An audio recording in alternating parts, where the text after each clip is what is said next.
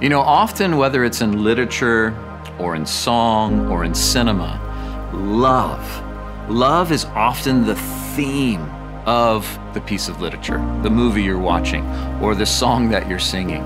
Remember that song, What is Love? Well, you know what? The Bible actually defines it. Let me read it to you. Paul says in 1 Corinthians 13 that love is patient, kind. Love's not jealous or boastful or proud or rude. It does not demand its own way. It's not irritable. Keeps no record of being wrong. It doesn't rejoice about injustice, but rejoices whenever the truth wins out.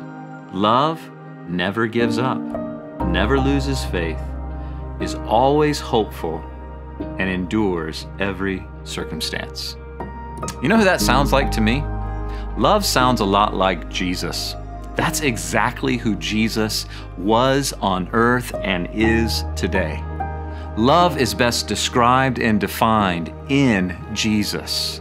Those of us who have been changed by Jesus and have the Holy Spirit living in us and empowering us to live a life of love, well, you see, it's a lot more about motion than it is emotion.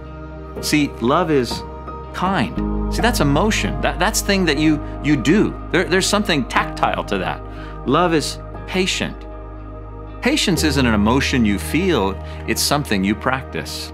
So today, I want to encourage you be loving to those around you. How? Make a choice to be patient, to be kind, to keep no record of wrong, to be one who hopes for the best and believes the best in those whom are in your life. See, God truly is love, and He's manifested that perfectly in His Son Jesus. And today, I want to encourage you to live your best day possible. You can do that by choosing to love God and all those around you today.